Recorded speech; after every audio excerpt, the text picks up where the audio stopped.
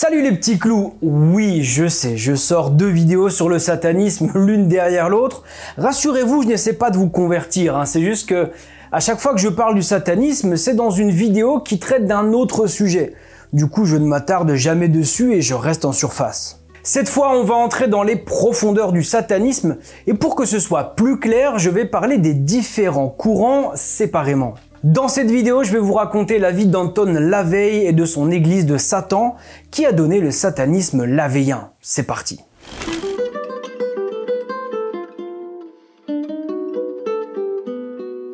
Anton Svandor Lavey, de son vrai nom Howard Stanton Lavey, est né le 11 avril 1930 à Chicago. Ses parents sont des Français juifs ashkénazes, mais il n'y a pas vraiment de pratique de la religion dans son cercle familial. En revanche, ses parents l'initient très tôt à la musique. Enfant, il déménage à San Francisco et se prend de passion pour la littérature noire, comme Dracula ou Frankenstein, et c'est grâce à sa grand-mère qu'il s'intéresse à ce type de littérature, parce qu'elle est ukrainienne et qu'elle lui a souvent raconté les légendes des pays slaves. Il lit également des bouquins sur les comportements humains, l'hypnose, les pulsions individuelles, bref, il est littéraire et musicien, et l'école, eh ben ça lui plaît pas trop. Il quitte le lycée à 16 ans et va travailler dans un cirque. Il fait le musicien, dompteur de fauves, magicien, bref, c'est un homme à tout faire. Ses parents l'ont inscrit à des cours d'orgue quand il était jeune et à l'approche de l'âge adulte, il s'est spécialisé dans l'utilisation des claviers.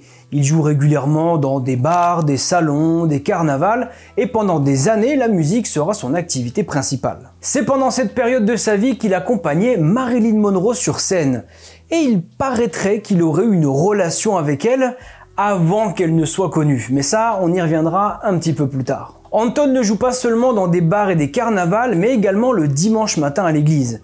Et ça, c'est très important parce que c'est ce qui va le dégoûter de la religion chrétienne et le faire basculer vers le satanisme. En fait, le samedi soir, il voyait des hommes se laisser aller à tous les excès. Alcool, nourriture, tripotage de danseuses à moitié nues. Et le dimanche matin, il les retrouvait à l'église avec femmes et enfants en train de demander à Dieu de les libérer de leurs péchés. Et le samedi d'après, rebelote. C'est là qu'il a commencé à se questionner sur le fait de s'interdire des choses et de ne pas vivre intensément les excès. C'est d'ailleurs ce qui sera la base du dogme de son église. Au cours de l'année 1950, Anton a 20 ans et la guerre de Corée éclate.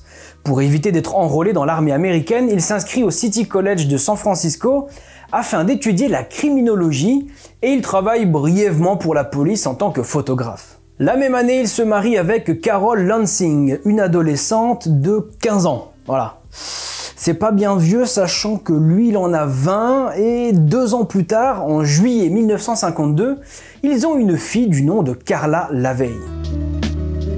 Il se met à lire les écrits d'Alester Crowley et rencontre les télémites de Berkeley.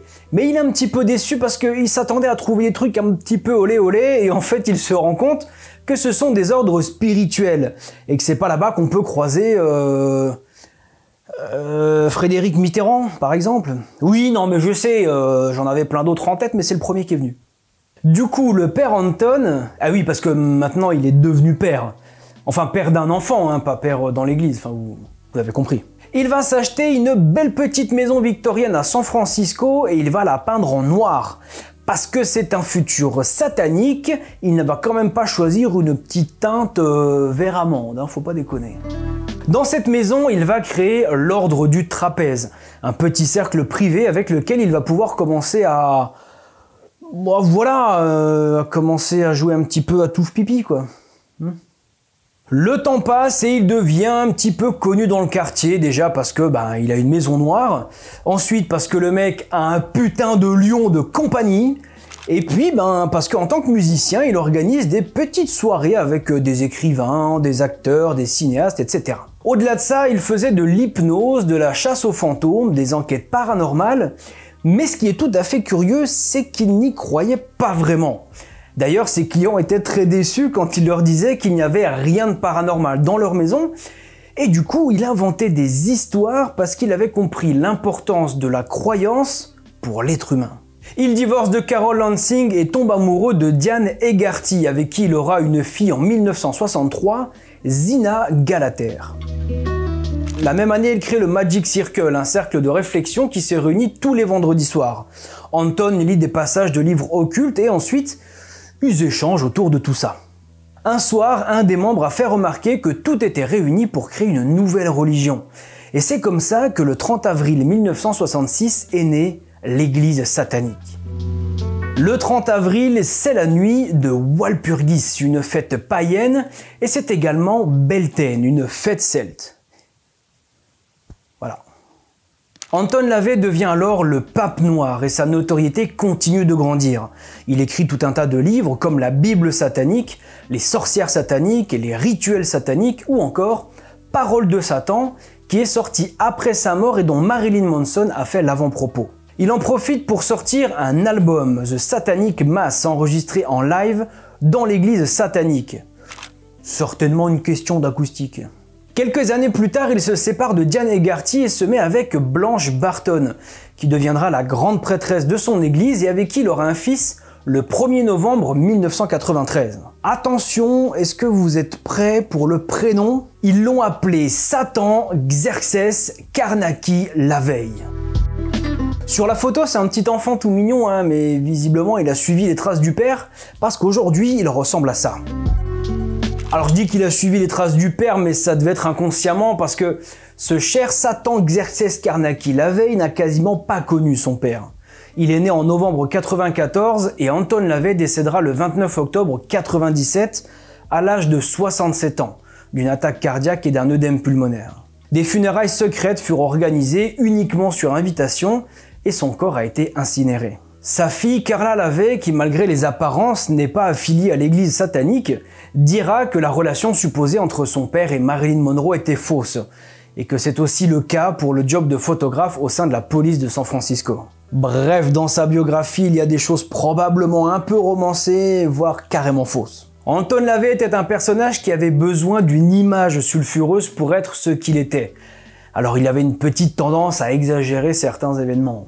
Voilà pour ce qui est de la vie du fondateur de l'église satanique. Maintenant, on va s'intéresser à son enseignement.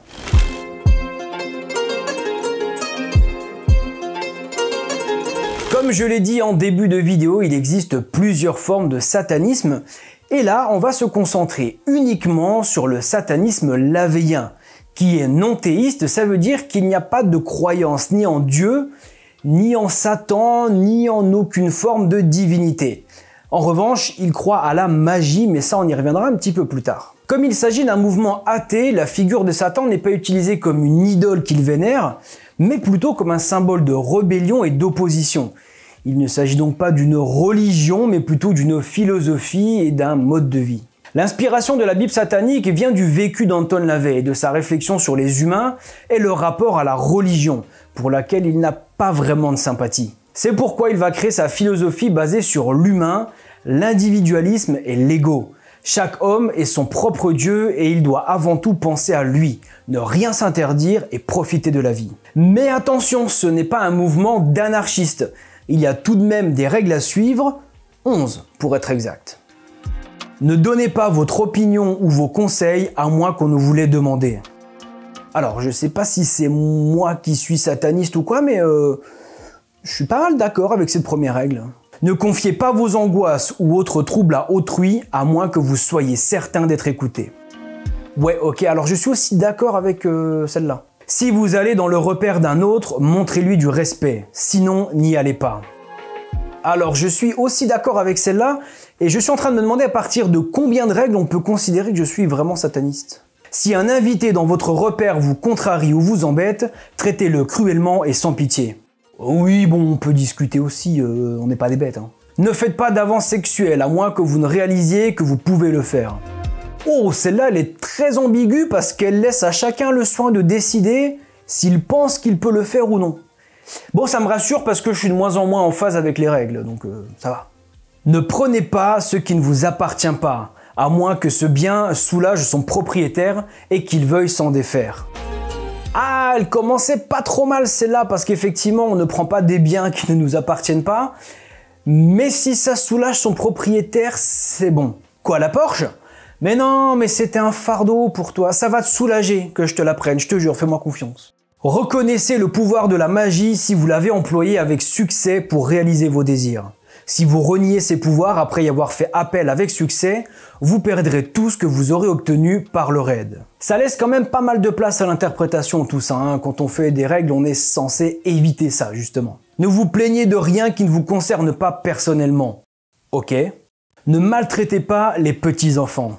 Ok, alors avec cette règle, je redeviens sataniste sans problème. Ne tuez pas d'animaux sauf pour vous défendre ou pour vous nourrir. Oui, mais à l'époque, le véganisme n'était pas à la mode, hein. faut se remettre dans le contexte aussi. Quand vous sortez, n'ennuyez personne. Si quelqu'un vous ennuie, dites-lui d'arrêter. S'il continue à vous ennuyer, détruisez-le.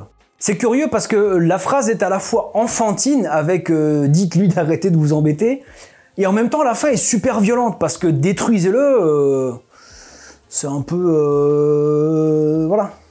Voilà donc les 11 règles que doit suivre tout bon sataniste qui veut entrer dans l'église. C'est un mélange de bon sens, de savoir-vivre et de quelques règles où on se demande ce qu'elles foutent là, hein, concrètement. Au-delà des règles, l'église est en faveur d'une liberté sexuelle totale.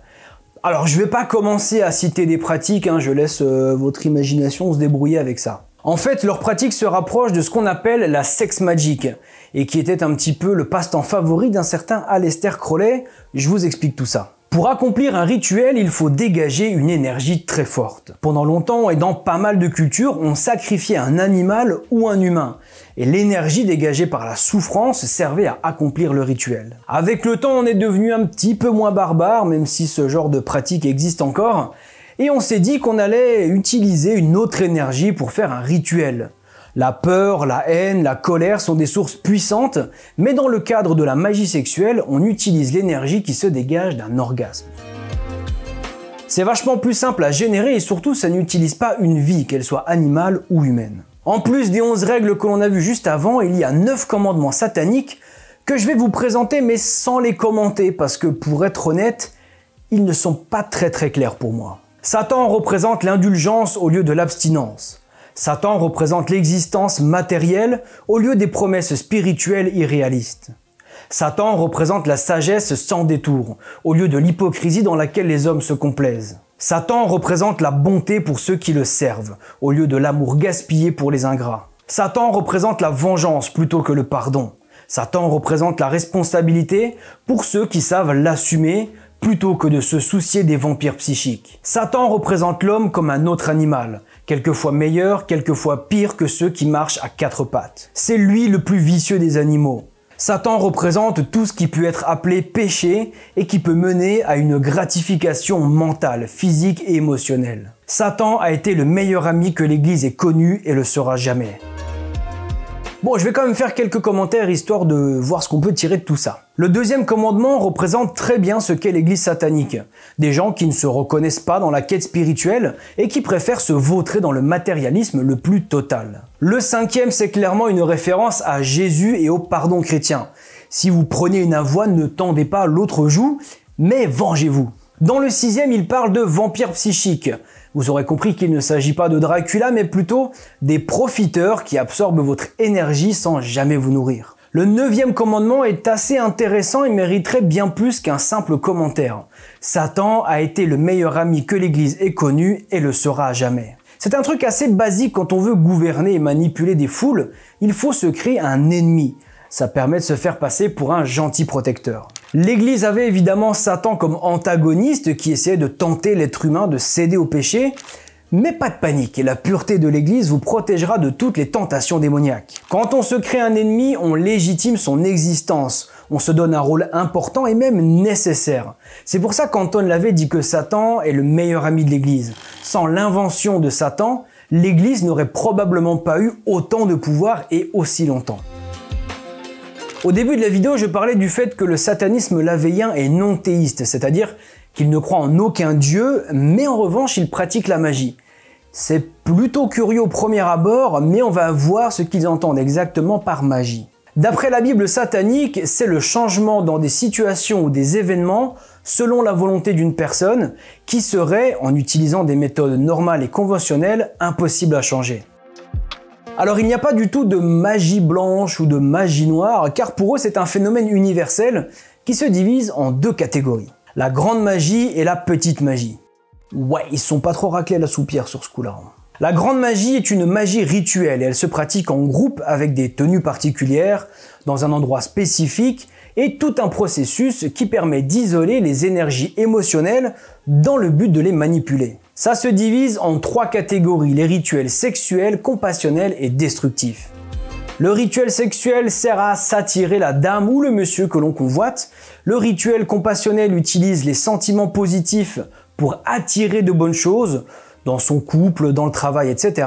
Et le rituel destructif se sert des émotions négatives pour nuire à quelqu'un. En gros, on utilise sa haine ou sa colère pour jeter un mauvais sort à une personne que l'on n'aime pas trop. La petite magie, quant à elle, est une magie non rituelle. Elle est donc individuelle et consiste à utiliser ses atouts pour manipuler. Ça passe par le sexe, les sentiments et l'émerveillement. Le but étant d'utiliser ce qu'on a de mieux pour manipuler et arriver à ses fins. Bon, alors la manipulation, ce n'est pas vraiment cool, hein, même si on en fait tous plus ou moins sans s'en rendre compte.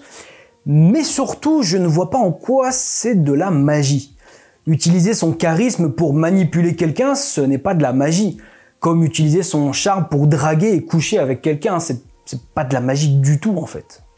Allez, on va terminer avec la hiérarchie de l'Église. Tout en haut, on trouve le grand prêtre et la grande prêtresse.